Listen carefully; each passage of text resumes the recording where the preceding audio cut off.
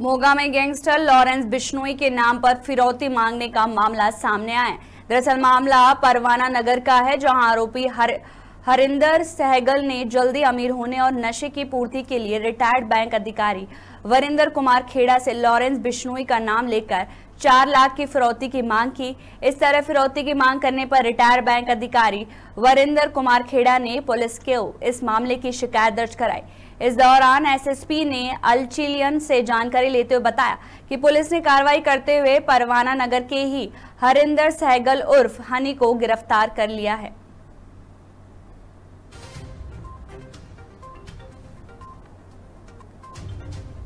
ਕਾਫੀ ਮੋਗਾ ਜ਼ਿਲ੍ਹਾ ਦੇ ਵਿੱਚ ਹੀ ਜਿਹੜਾ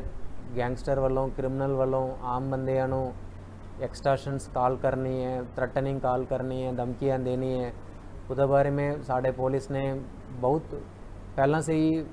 ਸ਼ੁਰੂ ਸੇ ਹੀ ਅਸੀਂ ਬੜੀ ਸੀਰੀਅਸਲੀ ਦੀ ਵਰਕਆਊਟ ਕਰਦੇ ਰਹਿੰਦੇ ਹਾਂ ਕਾਫੀ ਮਾਡਿਊਲ ਅਸੀਂ ਬ੍ਰੇਕ ਕੀਤਾ ਕਾਫੀ ਬੰਦਿਆਂ ਨੂੰ ਅਸੀਂ ਸਿਕਿਉਰ ਵੀ ਕੀਤੇ ਹਨ ਹੁਣ ਦੋ ਦਿਨ ਦੇ ਵਿੱਚ ਹੀ ਪਿਛਲੇ ਜਿਹੜੇ ਇੱਕ ਜਤਿੰਦਰ ਖੇਰਾ ਨਾਮ ਤੇ ਬੈਂਕ ਤੋਂ ਰਿਟਾਇਰਡ ਆਫੀਸਰ ਨੇ ਉਹਨਾਂ ਨੂੰ ਕਿਸੇ ਬੰਦੇ ਵੱਲੋਂ ਗੈਂਗਸਟਰ ਲਾਰੈਂਸ ਬਿਸ਼ਨੋਈ ਦਾ ਗਰੁੱਪ ਨੂੰ ਨਾਮ ਲੈ ਕੇ ਉਹਨਾਂ ਨੂੰ ਇੱਕ ਡੀਟੇਲਡ ਥ੍ਰੈਟਨਿੰਗ ਮੈਸੇਜਾਂ ਕੀਤੀਆਂ WhatsApp ਤੇ